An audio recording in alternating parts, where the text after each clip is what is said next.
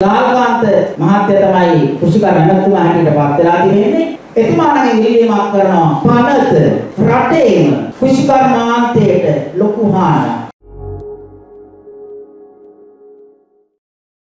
වීවා gram හාරසියේ පැකට්ුවක් සමගම රුපියල් හැත්තෑවක සුපිරීතිරියක් වැඩි උකුරසයක් වැඩි ඉතිරියක්.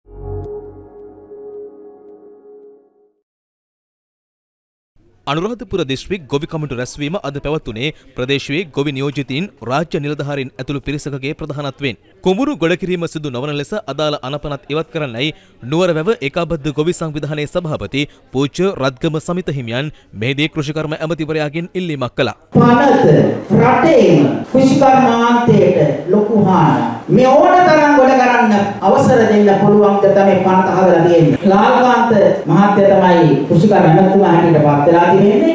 එතුමා නම් ඉල්ලීමක් කරනවා විශේෂයෙන්ම මෙන්න මේ පනත හැකීක්මනේ අයින් කරන්නට කියලා. පනත අපේ කුෂ්කර්මාන්තයේ වලලා දවන්නට හදගත්ත පනතක්.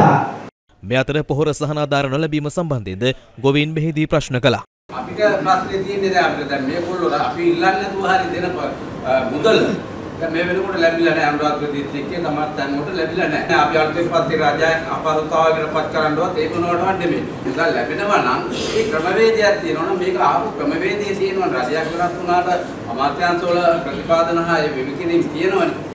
පළවෙනි අදියර දුන්නේ රුපියල් 15000ක් හෙක්ටයාරයකට දෙවෙනි අදියර රුපියල් 10000 බැගින් ලබා දීමට දැන් සැලසුම් කරලා තියෙනවා. අද දිනෙත් අපි භාණ්ඩාගාරයෙන් රුපියල් මිලියන 540ක් ඉල්ලුම් කරලා තියෙනවා දිස්ත්‍රික්ක 22ක් වෙනුවෙන්. එතන ගොවින් ඉන්නවා 47553ක් පමණ. අපි මුල් අදියරේදී පොහොර සානාධාරය ලබා දුන්නේ කුඹුර වැපුරුවයි කියලා අපිට නිශ්චිත වුණාම තමයි අපි පළමු අධීරේ පොහොර සානාධාරය ලබා දුන්නේ. නමුත් ගොවින්ගේ ඉල්ලීමක් තිබුණා ඊට කලින් දෙන්න කියලා. අපි ඒ නිසාම අපි තීරණයක් ගත්තා.